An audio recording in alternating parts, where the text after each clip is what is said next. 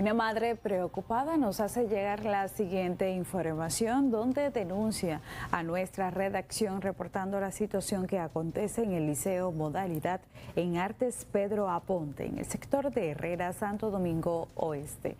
En el liceo lleva tiempo ocurriendo inundaciones, poniendo en peligro la salud de los estudiantes.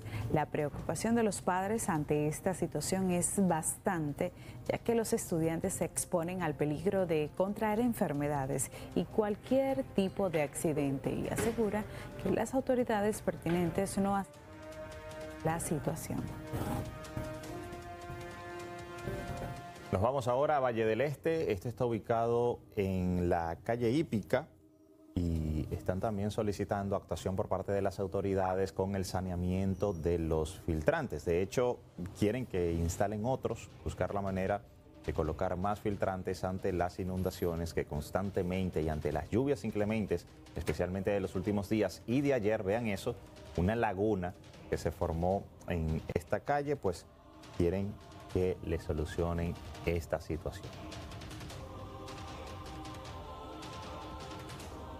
Señores, sector Valle del Este, calle Hípica.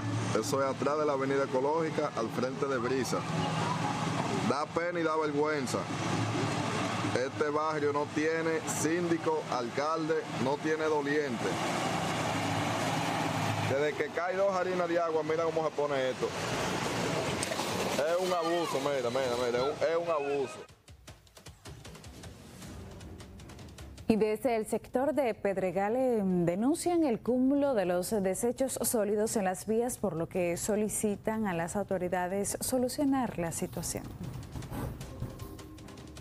Miren eso, miren, miren, miren. No tenemos ningún tipo de doliente.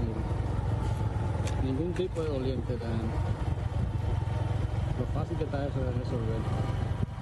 Solamente tienen que poner ahí una guagua de guardia y la misma calle circunvalación. Miren, eso es así. Y nada. Nadie hace nada.